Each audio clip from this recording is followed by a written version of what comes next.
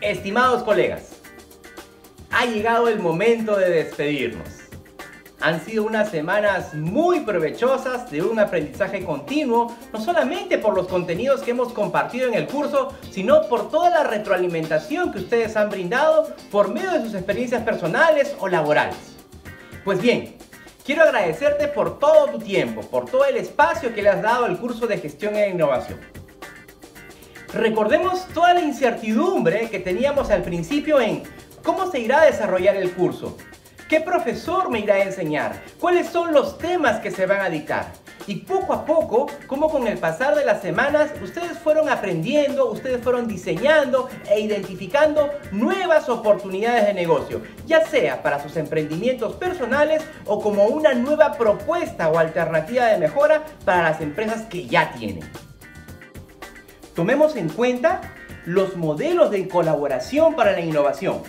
Recordemos cuán importante dentro de nuestras organizaciones puede convertirse el uso de utilizar licencias, franquicias, joint ventures, subsidiarias o alianzas estratégicas.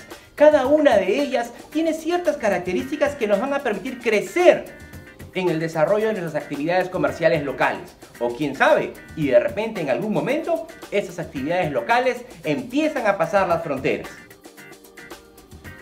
Por otro lado, recordemos los cinco modelos de innovación tecnológica. Technology Push, Market Pull, modelo mixto, modelo integrado y modelo en red.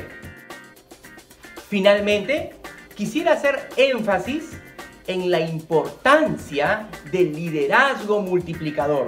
Recordemos lo aprendido en las semanas anteriores. Cuando nosotros tenemos un jefe o un gerente que suele pensar que sin mí ellos no podrán hacerlo o no puedo salir de vacaciones, ¿qué va a hacer de la empresa si no me voy de vacaciones? Estamos enfrentándonos a un problema muy delicado. Es por eso que identificamos al líder multiplicador y al líder minimizador. ¿Cuáles son las características de un líder minimizador? Un líder minimizador, por ejemplo, acapara los recursos. Determina las decisiones en función a lo que él considera. No invita al debate, no invita al consenso. ¿Y saben qué? Un líder minimizador es aquel que no optimiza el uso de su tiempo por estar pendiente de todos, verificando a cada momento si están o no están haciendo su trabajo.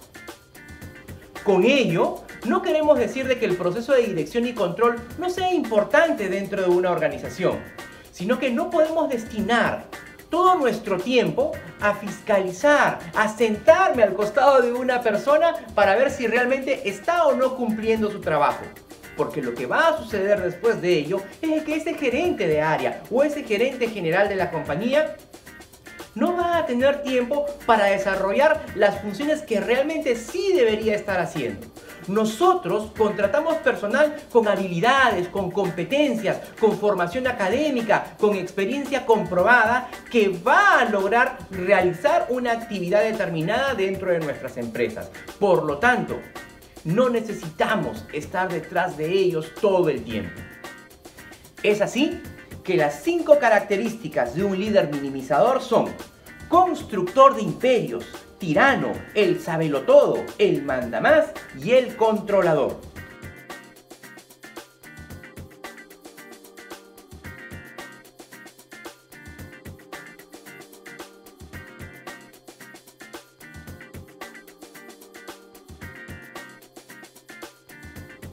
Por otro lado, tenemos al líder multiplicador. Multiplicador porque él se va a encargar de formar, de capacitar a los miembros de su organización para que también puedan influir, para que también puedan destacar. Y de esa manera tendremos a un líder que forma a otros líderes.